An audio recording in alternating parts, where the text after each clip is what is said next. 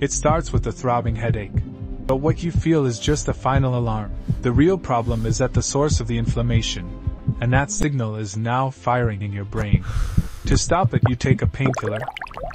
It travels down your esophagus and into the stomach, where its journey truly begins.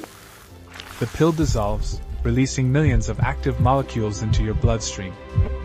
But here's the magic the pill doesn't know where your pain is, it travels everywhere. Now, let's go to the real source of the pain. These inflamed nerves are flooding the area with chemicals called prostaglandins.